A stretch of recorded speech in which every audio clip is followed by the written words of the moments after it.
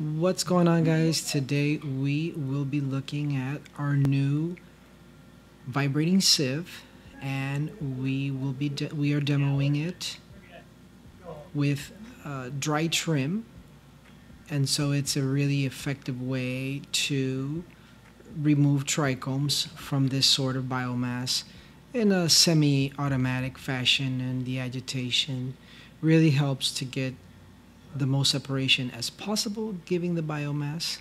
So let's check it out.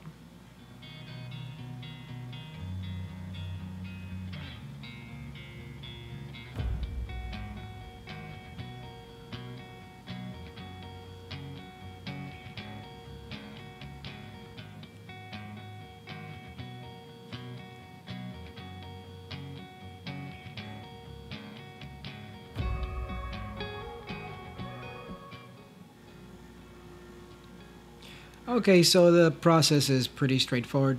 Take your dry trim, dump it on the sieve, and the reason you would use the sieve is because it makes the process so much easier. You don't have to be agitating this by hand, and this will semi-automate the process.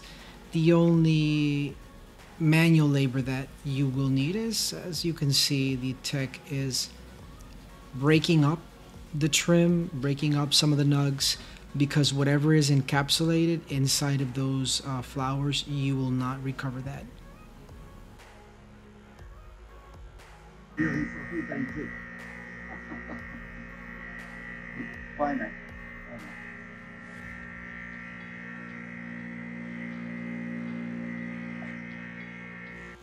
The process is straightforward. The vibration of the device helps to break off the trichomes from the trim and then they fall through a screen.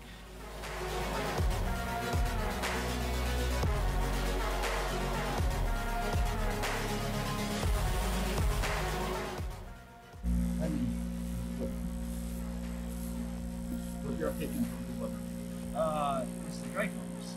So the, the, the benefit of water, um, because the dry sift is one, you have a floor, um, you have a bottom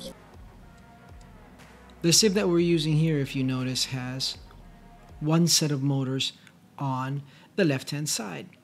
We have one version that has one set of motors, and then we have versions that have two sets of motors.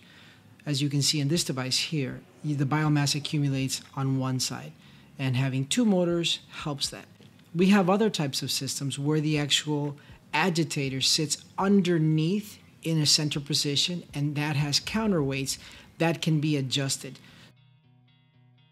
So if you see this picture here, you can see that there are several types of configuration depending on the application that you're using. So for us, if this was a batch type dry sift, if you had some of the other devices that we have with a centralized motor, you would be able to agglomerate the biomass in the middle and it would basically uh, volcano up, if you will, and that would eliminate some of the manual interactions necessary, you'd still have to put your hands in there and break up the trichomes.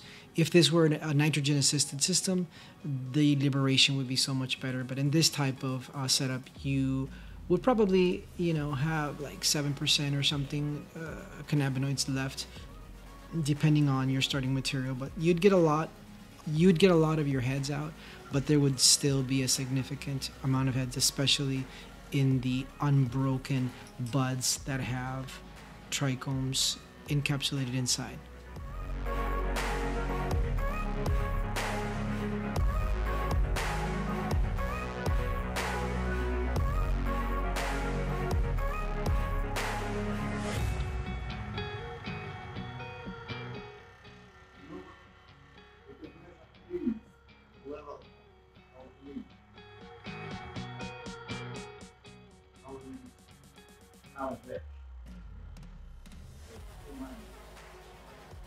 It.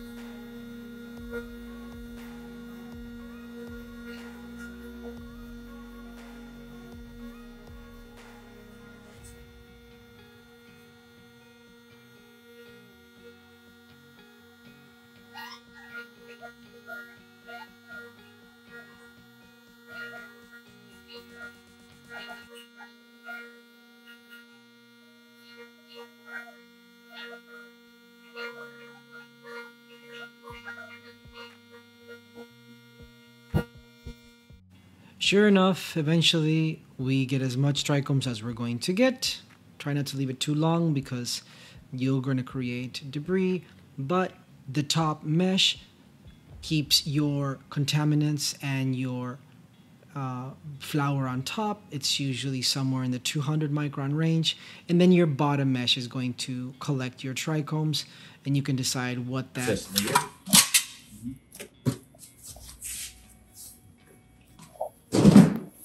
That's actually quite a nice yield. You can see that the uh, cystolithic hairs separated themselves. 25, so it's 500 mesh. should be maybe 45 microns, maybe 25. It just really depends. And as you can see here, we have a lot of pistils that have accumulated that have made it through the mesh. So some stuff does make it through, not all of it, but it's definitely an easy way to just collect these trichomes. At the end, uh, you can just pour this off. You don't want to scoop anything off. You just brush off these trichomes, and we do have a SOP on cleaning these things after the fact. Sieves are very important to keep clean.